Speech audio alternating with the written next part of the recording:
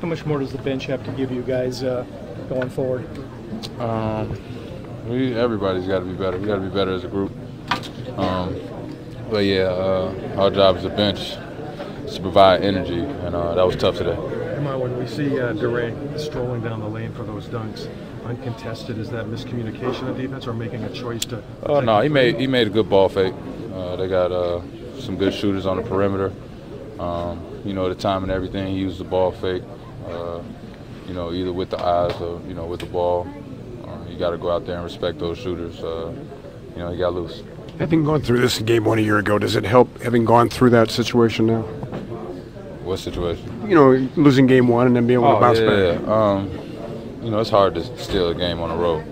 Um, we know that just from being in the playoffs, let alone uh, the finals, um, dealing with uh, the number one team in the league uh, record-wise.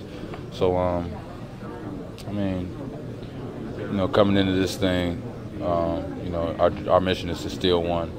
Uh, you know, two would be, you know, the perfect day. But, uh, you know, we dropped one. Uh, we got another chance on Sunday to get another one. Uh, we go from there. How much better does your deep transition defense have to be? Our transition defense? Yeah. Uh, we got to be better on all all parts of the game. Um, got to be more physical, better communication. Um,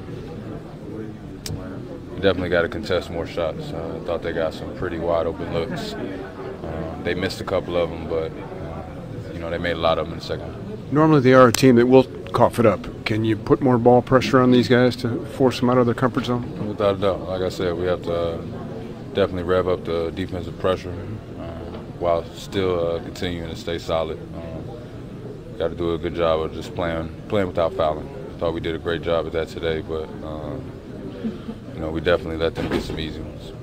They had 42 points in, in the paint by halftime. Is that because you guys are trying to take away their perimeter game? Um, I don't know. I think that came uh, a lot of it came from just turnovers. They capitalized on turnovers today. Sean, when your offense is struggling the way that it was at times tonight, how do you keep that from affecting your defense? You can't. Uh, well, um, we definitely have to try and slow that breakaway down. Um, like I said today, uh, you know they, they, they play within their numbers. Um, you know we pay for that, which we have to do a better job taking care of the ball. Um, but it's tough, man, when you got uh, the type of team that they have, trying to cover all those guys on the perimeter, uh, opens the lane right up. Uh, it's hard on defense, but we got to do better. We got to get better shots, keep our floor balanced, uh, make sure that if we do miss shots and they get out on the break, that we can stop them. You guys like something that you guys have been great at all season long. Do you rethink that maybe given the fact that you didn't have the floor balance, or is that a correctable thing? No, um, like I said, that's one of those things where we missed shots today. You know, um, we also had a lot of turnovers where it was nothing they did special. Uh, a couple of mishandles, uh, miscommunication, guy thinking the guy's going to cut and he doesn't. Uh, little stuff like that.